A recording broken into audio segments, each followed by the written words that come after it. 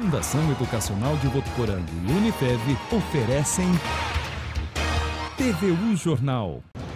Olá, seja bem-vindo ao TVU Jornal. Hoje é quinta-feira, 15 de fevereiro, e nós estamos no campo centro da Unifeb, porque os nossos estúdios estão passando por uma reforma, para levar então até você as principais notícias do dia de Votuporanga e região. E vamos aos destaques de hoje.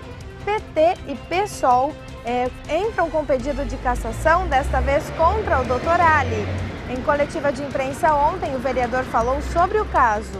Você vai ver ainda quais foram os assuntos abordados pelos vereadores ontem na sessão. E no esporte tem Votuporanguense e os gols da partida de ontem. Esses e outros assuntos você vê a partir de agora no TV Jornal.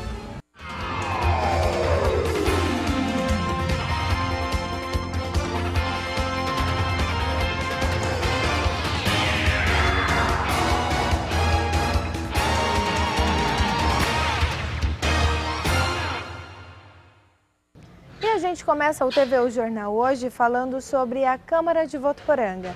É que ontem mais um pedido de cassação foi protocolado na Câmara e desta vez teve como alvo o vereador Dr. Ali. Ontem à tarde ele reuniu a imprensa para uma coletiva para esclarecer sobre o assunto. Se for o que estão falando, que meu filho ter firmado contrato com o município, realmente isso é verdade. Manteve um contrato com o município, mas numa licitação formalizada legalmente, uma licitação em que várias pessoas foram convidadas. Parece-me que teve uma outra empresa que foi no pregão, porque o pregão leva um envelope lacrado na hora, tá? E mas a pessoa não quis apresentar, não quis participar e só teve meu filho que participou. Tanto é verdade que no primeiro pregão não compareceu nenhuma empresa, inclusive é do meu filho. Na segundo pregão compareceu o meu filho. E aí foi feita a licitação. Então, a esse respeito, eu estou muito tranquilo, muito bem à vontade, está dentro da lei. Até porque o nosso código aqui diz, é claro, e eu vou ler para vocês. Firmar ou manter contrato com órgãos da administração pública municipal, direta, indireta ou funda fundacional, ou com empresas concessionárias de serviços públicos municipais, salvo quando o contrato obede obedecer às cláusulas uniformes. Vem um outro, uma outra linha aqui. Ser proprietário seria problema para mim se eu fosse proprietário da empresa. Controlador ou diretor da empresa que goze de favor decorrente de contrato de, com pessoa jurídica de direito público no município ou nela exercer função remunerada. Ora, eu não sou proprietário, não sou diretor, não sou controlador, não sou nada.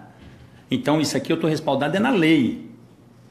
Agora, isso aqui é só um grupo de pessoas que querem criar um tumulto aqui na Câmara, conturbar o ambiente por interesses escusos, que só cabe a elas explicar quais, quais são. Eu estou muito bem à vontade, tranquilo. E vou até fazer um apelo para vocês dos meios de comunicação, que eu não quero que aqueles eleitores que votarem em mim, que confiam no meu trabalho e sabem quem eu sou, que ligue para qualquer vereador pedindo apoio para mim. Eu não quero isso. Eu quero que deixe todos os vereadores livres, com a consciência tranquila, que na hora de ter que julgar, de analisar os autos, o faça de maneira tranquila e consciente, sem qualquer tipo de pressão. É diferente do que eu tenho recebido no meu celular e tenho para mostrar para vocês, caso queira. Pessoas me ameaçando, chamando eu de traidor, chamando o meidão de Judas, eu de Judas e qualquer outra pessoa aí. Esse tipo de coisa não prospera. Nós não estamos na Idade Média ainda, que prevalece a força. Não. A coisa tem que ser democrática. Quem deve tem que pagar pelo que fez. É o que eu sempre preguei. E se eu dever, eu quero ser punido por isso. Porque eu não estou aqui na Câmara Municipal interessado em salário, interessado em cargo. Porque se eu tivesse interessado em cargo, eu já seria secretário há muito tempo, desde o início do mandato. E eu não aceitei ser secretário. Porque eu, eu não quero olhar para meus eleitores e ter vergonha deles. Não, não critico aqueles que aceitaram também. Por quê? Porque está na lei, a lei permite isso aí. O que a lei permite, eu não vou criticar. Mas nem tudo que eu posso me convém. Tem muita coisa que eu posso que não me convém. Então eu não aceito mas também não posso criticar o que está na lei. Eu tenho por opção de evitar o máximo de usar carro oficial. Isso é uma opção minha. Mas se eu pegar e usar o carro oficial, eu estou respaldado na lei. Mas eu ando de bis pela cidade toda. Vocês já devem ter me visto. Então é questão de foro íntimo. Agora querem me atacar porque tem interesses extrusos. Tem pessoas que estão interessadas em conturbar o ambiente, querer prejudicar a Câmara Municipal e a Prefeitura Municipal. Eu acho que se quer ter poder, ganhe no voto. Eu não sei, a representação parece que veio do tal de mexerica, lamparina, tangerina, não sei quem é esse cara. Só sei que ele teve menos votos que eu que, como vereador. E por falar em Câmara, ontem foi dia de sessão. E os pedidos de cassação contra o vereador Dr. Ali e o Dr. Harry repercutiram bastante na tribuna. O primeiro a usar a tribuna foi o vereador Dr. Antônio Carlos Francisco, que falou sobre um anteprojeto de lei para incentivar profissionais recém-formados. Nós temos visto muitos incentivos à microempresa e a outros setores, mas é muito difícil nós nos depararmos com incentivo, apoio àqueles que estão iniciando a sua carreira. Já o Dr. Ali e Harry Catwinkel usaram a tribuna para repercutir o pedido de cassação de mandato apresentado contra eles. Eu não quero pressão sobre os vereadores, eu quero que a casa julgue de uma forma coesa, de uma forma justa. Se eu tiver que pagar, eu quero pagar. Eu não estou muito preocupado com o resultado que vai dar, porque a gente tem que temer pelo aquilo que a gente faz de errado. Aquilo que eu tenho certeza do que eu fiz, eu não preciso me preocupar. Eu nem tive acesso à representação. Os vereadores também não tiveram acesso à representação, já estão fechando questão de ordem para punir o vereador. A decisão é técnica ou a decisão é política? Os vereadores Emerson Pereira e Marcelo Coyenca usaram o tempo na tribuna para pedir a volta do carnaval de rua em Votuporanga e que o Centro de Lazer do Trabalhador seja usado para o evento. Nós tínhamos que ter um carnaval e ocupar, senhores vereadores, como eu disse aqui, aquele espaço do trabalhador, senhor presidente, para os próximos anos, colocar uma banda lá tocando, colocar a segurança necessária e dar um carnaval popular para o povo de Votuporanga. A concha acústica não é para isso. Na concha acústica não decola. Não decola carna folia, carna votu, carna popular, que carna que quiser, mas tem que ser no, no, no centro de eventos lá embaixo do trabalhador, centro lazer do trabalhador. Foi feito para isso. A sessão da Câmara completa você acompanha hoje aqui na TV Unifev a partir das sete e meia da noite. E vamos saber agora quais os assuntos que são destaque na região. Chegou a hora do Região em um minuto. Prefeitura de Valparaíso decretou estado de emergência depois que 11 casas ficaram alagadas e duas interditadas após o temporal que atingiu a cidade na terça-feira. Além das casas, a enxurrada também invadiu três escolas municipais. As aulas foram suspensas em todas as escolas da cidade até amanhã. O motorista de um caminhão ficou ferido em um acidente de trânsito depois de colidir com uma carreta na manhã de ontem em Severínia. Com o impacto da batida, o motorista sofreu uma fratura na perna esquerda. Já o outro motorista, que teve o caminhão atingido, não sofreu nenhum ferimento. As causas serão investigadas. Três homens foram multados na terça-feira por pesca ilegal no Rio São José dos Dourados, em Sebastianópolis do Sul. Durante o flagrante, foram apreendidos 13 quilos de peixes e a rede utilizada na pesca. O trio foi multado e vai responder por crime ambiental. A Prefeitura de Buritama investiga a morte de um idoso por suspeita de febre amarela. O paciente deu entrada no hospital com a temperatura corporal muito alta. A Secretaria de Saúde aguarda os resultados dos exames de sangue para confirmar a causa da morte e saber quais medidas tomar. E termina neste final de semana o horário de verão. O principal objetivo da medida é distribuir melhor o consumo de energia no país e reduzir assim os riscos de apagão. Nós conversamos com o engenheiro elétrico para entender melhor sobre isso. E os detalhes a gente confere agora na reportagem. O horário de verão termina às zero hora deste domingo, quando os relógios devem ser atrasados em uma hora nos estados das regiões Sul, Sudeste e Centro-Oeste, além do Distrito Federal. A hora de verão atual está em vigor desde 15 de outubro de 2017. O objetivo da medida é distribuir melhor o consumo de energia, reduzindo custos operacionais. No ano passado, o governo federal até pensou em não adotar o horário de verão, mas depois acabou voltando atrás. Nesse ano, ele entra em vigor apenas no mês de novembro por causa das eleições. Apesar, segundo especialistas, o horário de verão trazer benefícios, alguns não aprovam. Eu acho que esse horário que vem agora é melhor. porque o horário que eles fizeram até agora, para mim, não resolveu nada. Esse horário é terrível. Na minha opinião, esse horário de verão não vale nada. De manhã cedo está muito escuro, né? Nossa, não tem condição. Você chega de manhã cedo, você vai acordar, é, dá vontade de dormir mais e tem que trabalhar. Esse engenheiro elétrico explica os benefícios do horário e também porque muitas pessoas não gostam dele. Com certeza não é para economia de energia, é para redução de demanda, que, que seria a coincidência das cargas ligadas ao mesmo tempo. Com as cargas ligadas tudo instantaneamente, pode ter um risco de cair o sistema de energia e aí temos um blackout ou apagão. A maior parte da população rejeita o horário de verão. Por quê? Porque muda os hábitos das pessoas. Quando você muda o hábito, você tira as pessoas da rotina, óbvio que as pessoas não gostam, mas o objetivo é exatamente a mudança de hábito.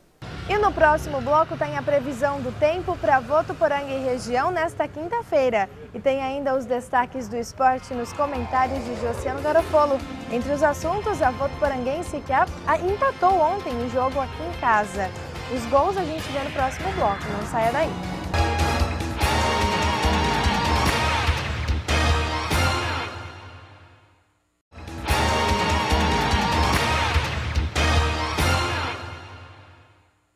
Estamos de volta com o TV o Jornal e agora para falar sobre o Núcleo de Práticas Jurídicas que retomam as atividades na próxima segunda-feira, dia 19. O espaço fica lá na cidade universitária e oferece orientações civis e penais à população de graça por meio do projeto Tira Dúvidas. Se você quiser obter mais informações, é só entrar em contato pelo telefone 3422 2828 3422 2828. E vamos saber agora como ficam as temperaturas para Votuporanga e região nesta quinta-feira. As condições para chuva ainda são altas em todo o noroeste paulista. Começando por Cosmorama, o dia vai ser de sol com algumas nuvens e tem expectativa de chuva rápida a qualquer momento. A máxima é, prevista para hoje é de 29 graus. Em outras cidades da região também que tem o tempo instável é Valentim Gentil. O tempo, o tempo fica nublado durante todo o dia e tem expectativa para chuvas passageiras à tarde e à noite. A mínima é de 19 e a máxima pode alcançar os 29 graus. Aqui em Votuporanga, o clima permanece igual a essas duas cidades. O tempo de chuva é constante durante todo o dia, com precipitações que podem ocorrer a qualquer momento. A mínima prevista é de 20 e a máxima pode alcançar os 29 graus aqui em Votuporanga. Vale lembrar que essas informações são do portal Clima Tempo e ainda de acordo com o portal, a previsão de chuva é de no... a probabilidade de chuva, melhor dizendo, é de 90% em todo o noroeste paulista. E chegou a hora do esporte. E hoje Josiano Garofolo está lá no estúdio do programa Meio de Campo para trazer os detalhes para a gente da partida de ontem. Foi empate, né, Josiano? Boa tarde. Olá, Stephanie. Olá, todo mundo que acompanha a primeira edição do TV o Jornal. Estou aqui no estúdio do Labim, estúdio onde é gravado o programa Meio de Campo, que hoje à noite tem debate. A gente vai falar sobre a Votuporanguense, empatou em 1 a 1 com a equipe do, do Rio Claro. E a gente vai debater aí o que as opiniões sobre esse jogo. Aliás, vamos dar uma olhada, aproveitar e dar uma olhada aí nos melhores momentos da partida, narração do Luciano Guimarães. Com Elvinho, Adriano Paulista, tem espaço, Adriano, vai tentar a batida! Gol!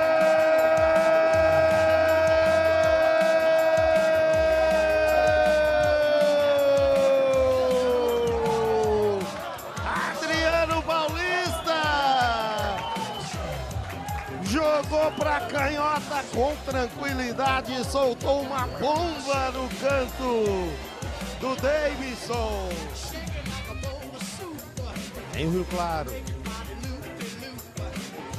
Lucas, invadiu a área o Lucas. Ficou sem opção, veio o cruzamento, a bola vai sobrando no bate-rebate. Gol!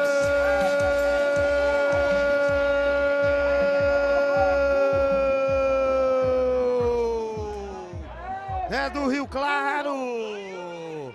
Sapeca. Daniel jogou na área, subiu o Natan. A bola vai sobrando pro Fio. Dominou na área o Fio, a batida na trave. Na sobra o Thiago bate, bate muito mal. Chega com perigo a Votuporanguense aos 30 minutos, Josian. Espetacular o lance do Fio. Tá então os dois gols da partida, empate em 1 a 1 da Votuporanguense na Arena. E como eu disse, hoje à noite a gente vai, vai ter o programa meio de campo inédito, debatendo bastante aí essa, esse resultado.